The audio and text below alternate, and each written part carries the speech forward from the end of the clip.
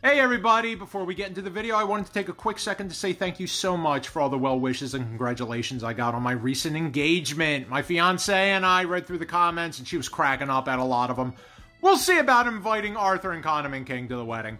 Anyway, today I'm being attacked by two heavy hitters, but I'm being defended by 10 Marvel and DC characters, so let's find out who's got beef with me today. First attacker.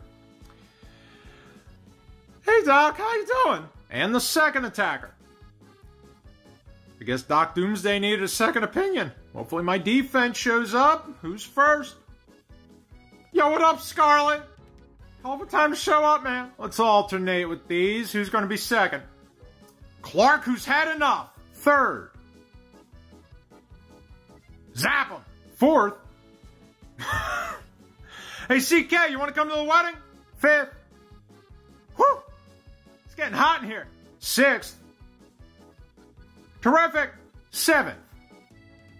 Man, what is that thing? Just to be clear, I do know who Man Thing is. Number eight.